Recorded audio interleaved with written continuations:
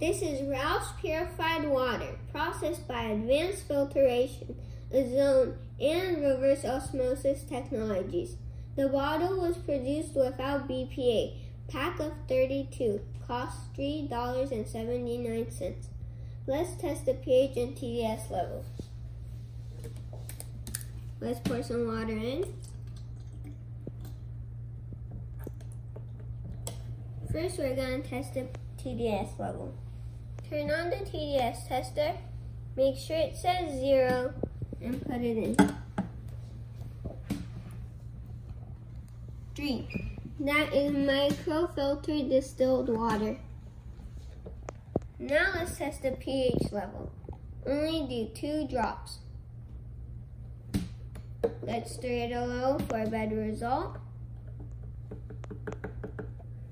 I give this a 5.5. This is acidic.